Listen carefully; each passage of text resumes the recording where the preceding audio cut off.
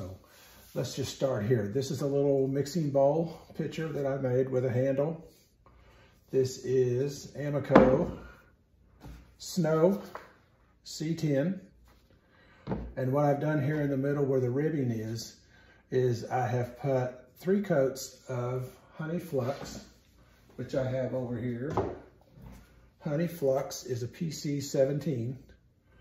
And Honey Flux, of course, is going to make things move. So I put that in here. And then I put two coats of Iron Luster. Two coats of Iron Luster. Right here, you see this band in the middle. And then one more coat of the PC17 Honey Flux. And that's going to bring out a lot of color. Uh, and then I've got my snow that comes down here. And snow, as you all know, is going to be a, a nice glossy white. This should come out with some real interesting colors. Put it on the handle. And this is just gonna be a really neat little egg mixing bowl, you know, for scrambled eggs and so forth on Saturday morning whenever you've got time. So we'll set that one aside. And uh, this is a favorite. You've probably seen this blend in one of my short videos. I try to keep things short, but this one's gonna be a little bit longer. So yeah, grab some popcorn, sit back and watch. This is a porcelain vase, and I've made one like this before with the handles. And this is ancient copper, which has now been discontinued by Amaco. So if you've got some, hang on to it, use it for those special pieces that you have. But this is ancient copper. It comes up to here. And we've got that. It's PC56. And then what I do up here is I put obsidian. And obsidian is a celadon, so it's very stable, C1. And then we put our seaweed on top of that. And I, have got that over here. Seaweed is PC42. Obsidian and seaweed will give you just tremendous colors, beautiful. The seaweed is a runner. It will make it run. All of this is going to flow down and mix with this copper and that's just going to be gorgeous when it's done. Uh, I've done one, like I said before, it came out just probably the favorite piece I've ever done in the three or four years that I've been working with pottery. Uh, I hope, I'm trying to replicate that piece. I don't know that you can ever replicate a piece, but here's my shot at it. And the inside I did here is actually a Shino, new ones from Amaco, which is the SH46 and that's just on the interior. I don't think you can see it very well, but it should be a nice rustic look in there. So there we go with that one. I've got several other pieces here. Let's see, we've got a bowl. I had a little bit of extra clay left the other day and I just, I threw a bowl because I wanted a bowl to eat out of. I'd use them in the house for different things. This is one where I did some mixing. Uh, this one is actually a coyote glaze on the inside and part way down right to here. This is Pam's Green, which is MBG, get the glasses on, MBG 038.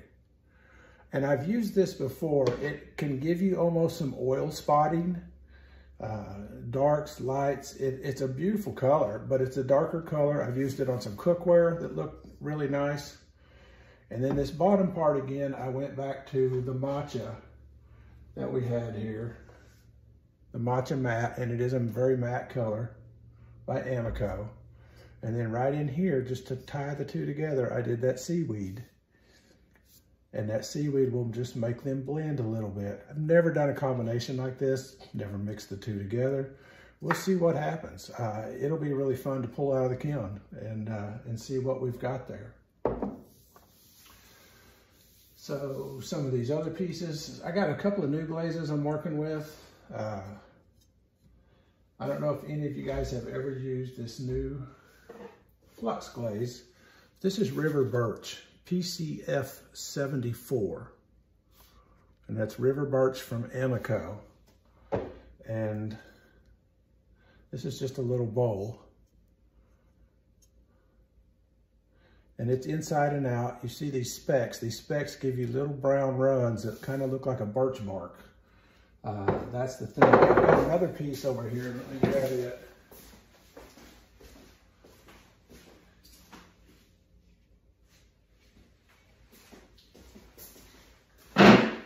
Another large bowl that I've done that with. These are mostly on Dark Star by Kentucky Mudworks, so they are speckled clay. This is a large bowl. I've got this river birch in here, and what I did at the top, because I'm always looking for some kind of blend, I have a hard time doing a single color, but PC32 Albany Slip Brown is around the rim of this. And I went right around the rim with probably three or four coats. And then I came back with that honey flux to make it run. And if you can see, I've got some real heavy drips, like right in here. It's just a kind of thick on that rim and it's inside and out. So we should get a, uh, it'll move. It'll move on the inside and out, both this way and just kind of flow a little bit so we get a really nice edging on this one. But this one's gonna be fun. Uh, a really big bowl. I'm trying to think. I think that's on Dark Star. Dark Star is a really light clay like Tony Beaver, but it has specks in it. And so uh, it throws really smooth. It's really easy. It's kind of wet when you first start with it, so you kind of got to let it dry a little bit, do some extra wedging. But that's going to be a really nice big bowl. That's probably about a well, 12, 12 inch bowl across the top and a nice little Asian style. It'll be pretty. It'll be real pretty. So I got one other piece that I use that particular one on.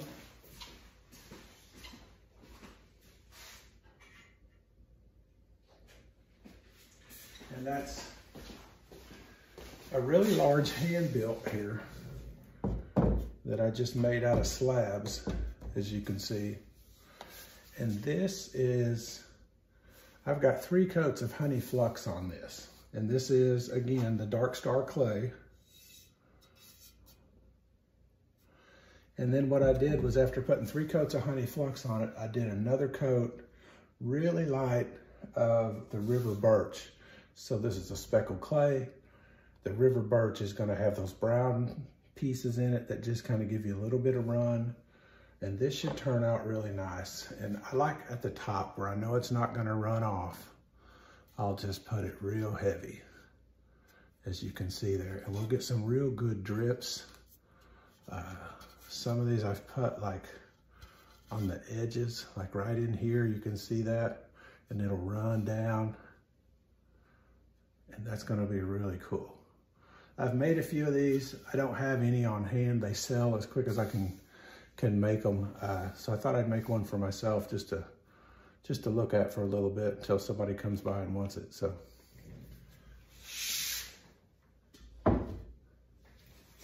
Some other things we've got here, I've got some mugs. This is always uh, one of my favorites. I've got three of these that are gonna be coming out.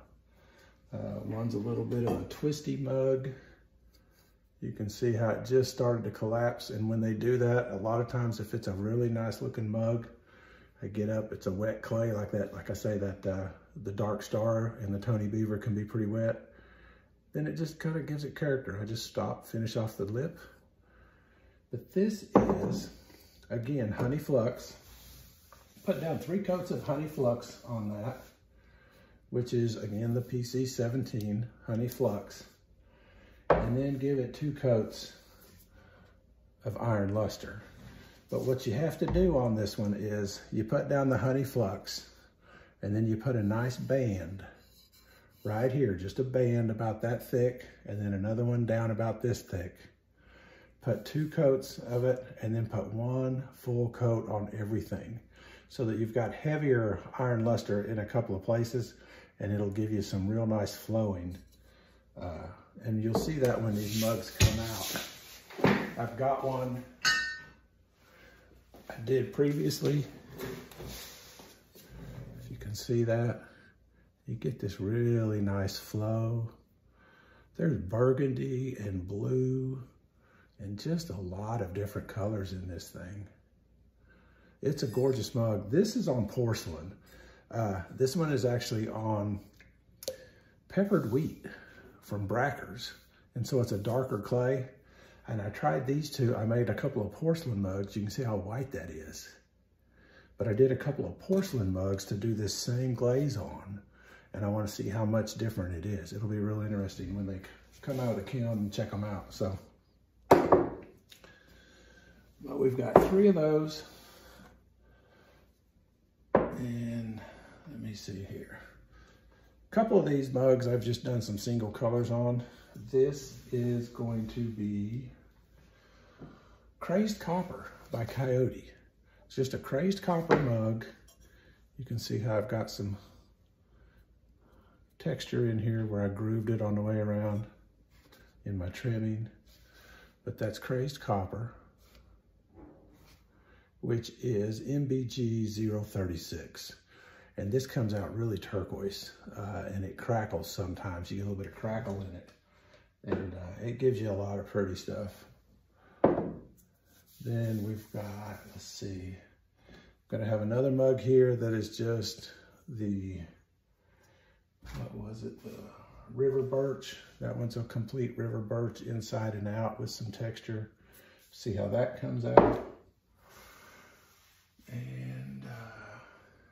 This one will be really interesting. I've never done this, and some of you may have tried it. This is actually, let's see if I can find my color. This is eggshell, and I don't seem to have it handy here. But this is eggshell by Coyote, which is kind of a flat white. And then you can see that's loose. I'll have to be careful when I get it in the kiln. But then I just took some leftover crumbs and put in here and we're going to see what that does. And it's just a bowl. Nothing fancy, a nice little bowl, but it'll glaze up pretty.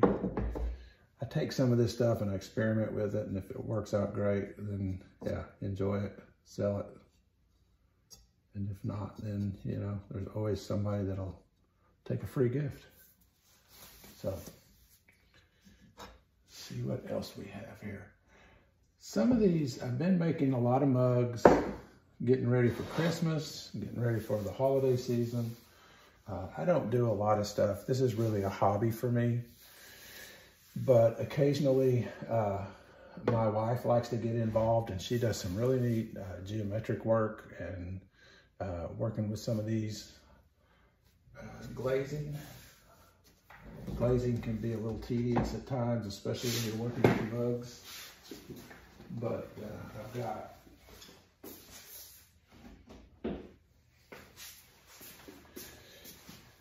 here's a few of them that she has done. This is a really neat, going to be a, this is a, a uh, dark star clay. You can see that, and it's wasabi. It's a celadon, so it's C43. And the celadons are very, very stable, so you don't have to worry too much about it being close on the bottom or anything. She's gonna stay right where you put it. Always try to remember that with the celadons. I don't, I don't have to give it too much room or be too cautious with it. This is another one. This is Coyote. And what we've done here, she did these. I threw it with the grooves because I like the grooves and always something different. But she's kind of ombre this one. You can see that. And we've got Coyote Red Orange, which is MBG 017. And that's at the very top up here. And then she went to the pumpkin right here on the next level in the middle. And that's MBG 051P. You can see that on the barcode. And then the next one is Coyote's really red at the very bottom, MBG 071P. But these are real stable glazes. That's the one thing I love about most of these Coyote glazes too, is that they don't have a lot of runners that I've ran into. When you put these here, they're solid. I've got a little bitty bead right here at the bottom, if you can see that, turn it. And I just, I know that glaze is gonna stay right where I cut it. It's not going anywhere. Here's another one of hers that she did. This is going to be the red orange at the top, really red down here. Got my little signature peace sign on the handle. And uh, that'll come out really cool. It'll be fun pulling that out of the kiln. Here's another one that uh, is real different. If I can find it. This is, we she mixed two, an Amaco and a Coyote in this particular uh, series. Lapis Satin, and this is a real flat purple. And uh, it just, that color, if you can see that right there, is just really close to what it comes out. It's MBG 082 by Coyote. And uh, I mean, some of these glazes are fairly inexpensive. This one was $11. So I think I, some of the Coyote glazes can be a little bit cheaper. And uh, I don't know about you, but I'm always on a budget. So, but what we did here with that one was she, she put this lapis satin inside and out. And then she went over it with, because wasabi is a celadon that's so stable. She tried it on the outside of this, trying to get that green to mix with the purple a little bit and see what she could come up with. She put it on the inside and the out. And that'll be fun to see. What do we get? I, I, I use mugs a lot of times for test tiles. I mean, that's my first shot at this, you know. That's a heck of a nice little test tile if you ask me. Got some nice little runs at the bottom. Yeah. I'm not doing this for a living. I'm just doing it for fun. So, uh, hey, why not? Here's another one that she did. Neat little pattern. They come out really cool. Using uh, pinstriping tape or in office supplies, dots, whatever. This is Sunset Pink by Coyote. MBG 021. And I love this. This is, uh, it is, when they say sunset pink, it really does can come out with some oranges and yellow mixed in with a pink. It's a beautiful color. I, I like this one a lot. Uh, and I use it on different things, but you'll see when it comes out. I'll make sure we take a good look at that one. So I think we're getting close. Let's see, we've got, here is Snow. This is Snow Inside and Out by Amaco. And then I believe what we've got here is either Buttercup or Marigold. But she did a yellow, I believe she did the Marigold right here, which is another Celadon of C60. So we're gonna have the yellow at the bottom and the white of Snow at the top. It'll be really pretty. Let's see, here's another one. Snow inside and out. And then this is the crazed copper. So we'll have turquoise and white. And that'll be really neat. I've got one here that I did previously. I threw it, she glazed it. Look at that little mug. Isn't that gorgeous? Just a neat little coffee mug. Put a nice little foot on it, you know, like a like a little tea bowl.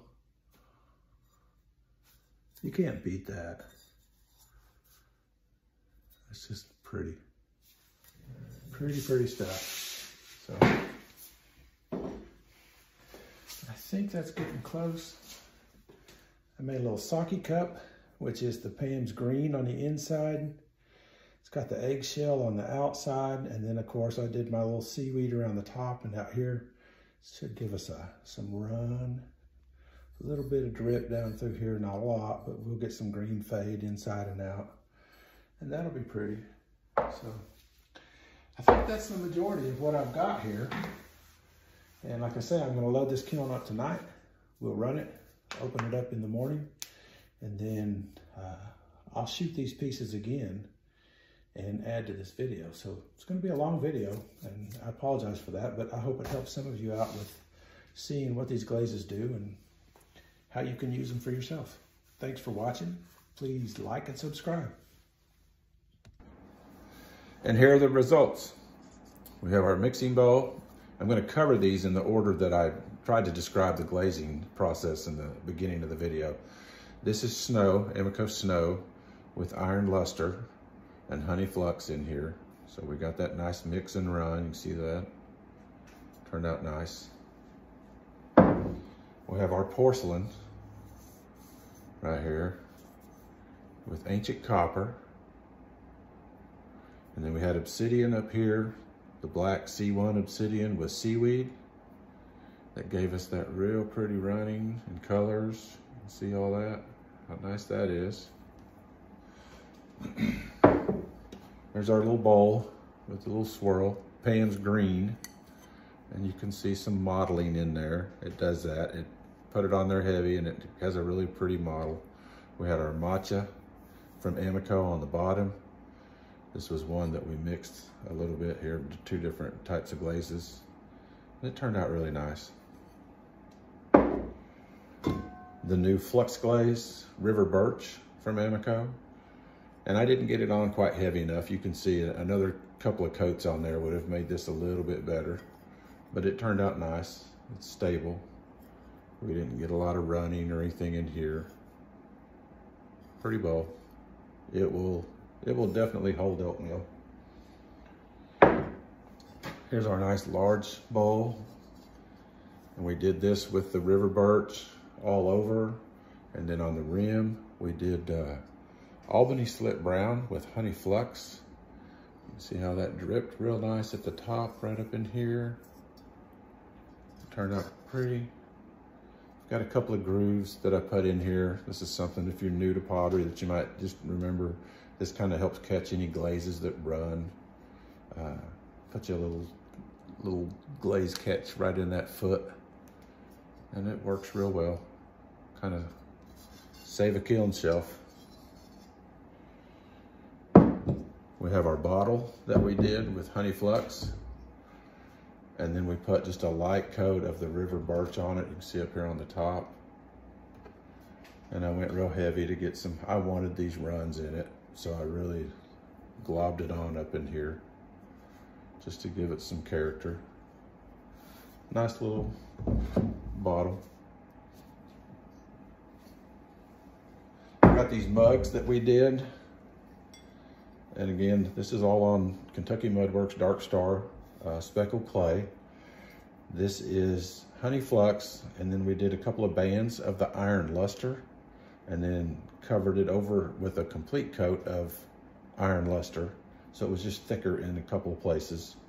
But we did three of those, and they turned out really nice. Your clay body is gonna affect how these come out. Lighter clays and darker clays will react a little differently. But these turned out really nice.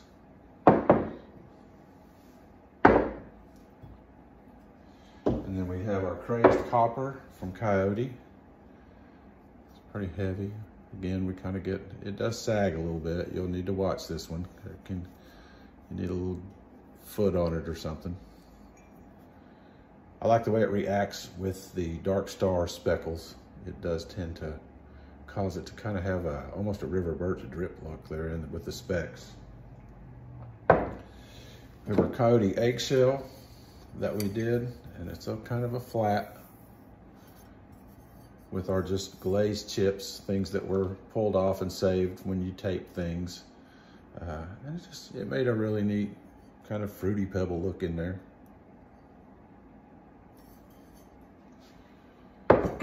then here are some of our mugs that were designed this way. We got Amaco Wasabi. It's just a nice green on this. It is darker on different clays, but this is a light clay, like I say, and it does uh, the dark star with the specks. Almost gives you an avocado look. Really nice. There.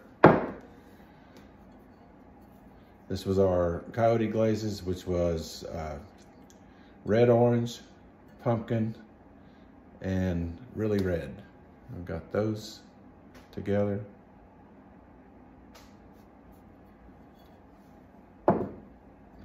Another one with the red orange and the really red. These seem to be real stable. I enjoy using these. Here's our lapis satin. And then we had a little bit of uh, wasabi at the top trying to get a different effect. It really just kind of made it darker. We didn't really get a green out of it or anything different. But it was stable. It's pretty. I mean, you can see right down to the edge on these. They don't run. They, they stay where you put them. Sunset pink Could have been heavier. You can see through here a little bit. You can see where it was a little bit heavier. So you get some real neat sunset colors in here. You can pick up some reds and oranges. And uh, I like this glaze for specific things. See in there. It's it's a it's a really nice nice color. And then uh, we've got these that were again snow. And this, I believe, was Buttercup. This is a brighter uh, orange than the Amaco Marigold. So I'm just pretty sure this was Coyote uh, Buttercup. And that's why we've got such a such a nice pop there with the yellow. It's pretty. Crazed Copper and Snow, which is Crazed Copper's Coyote. Snow is Amaco. And it does tend to drip a little bit if you get real heavy. You can see we got a little bit of run in here. Snow just does such a great job of giving you a nice bright white, nice finish, smooth. Love that. Just love that. You can drink coffee out of that all day long. And we have this little sake cup, which was the seaweed around the rim. And we had our eggshell. And I can't really remember what we put in there. Maybe some Pam's green or something, but it's a neat little cup. And then I had a couple that I must have missed. Uh, but here's River Birch again, just on a mug. Gave us some real nice color. Drips. And this is one that, uh, these are porcelain mugs. I threw a couple of porcelain mugs this is iron luster with oatmeal on top of it. And it really does bring out some gorgeous colors there. I like this combination. It uh, has kind of an old vintage look. Just look at, can you see the inside of that mug and the colors on the outside? It's just really pretty, really pretty. So that wraps it up. Thanks for watching. Please like and subscribe.